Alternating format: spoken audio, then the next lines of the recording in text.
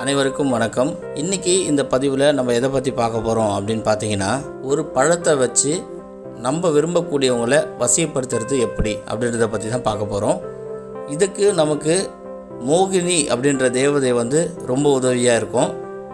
மோகினிக்கான ஒரு சிறிய எளிமையான ஒரு மந்திரத்தை தான் இந்த பதிவில் நான் உங்களுக்கு சொல்ல போகிறேன் இந்த மந்திரத்தை முன்னாடியே நீங்கள் சித்தி பண்ணி வச்சுருந்தா தான் உங்களால் இதுக்கான மந்திரம் வந்து ஓம் ஹ்ரீம் மோகினி ஸ்வாஹா இந்த மந்திரத்தை குறைஞ்சது ஒரு பத்தாயிரத்தி எட்டு முறை சொல்லி வச்சுக்கோங்க.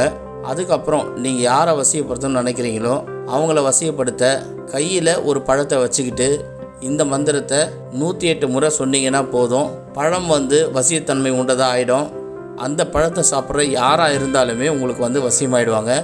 அதுக்கப்புறம் உங்கள் மேலே ரொம்ப அன்பும் பாசமாக இருப்பாங்க. இது வந்து கை கண்ட அனுபவ முறை. இதை எல்லாருமே பயன்படுத்தி பயன்பெறுமாறு கேட்டுக்கிறேன். முக்கியமான குறிப்பு என்னன்னு கேட்டிங்கன்னா இது கெட்டதுக்கு பண்ணால் நடக்காது. நல்ல விஷயங்கள் அதாவது கணவன் மனைக்குள்ள பிரச்சனை காதலின் காதலிக்குள்ள வேற யாராலாவது பிரச்சனை வரும். இந்த மாதிரி விஷயங்களுக்கு இதை பயன்படுத்திக்கங்க. இந்த வீடியோ உங்களுக்கு பிடிச்சிருந்தா லைக் பண்ணுங்கள் ஷேர் பண்ணுங்கள் மறக்காமல் நம்ம சேனலை சப்ஸ்கிரைப் பண்ணுங்கள் மேலும் இன்னொரு வீடியோவில் உங்களை சந்திக்கிறேன். நன்றி.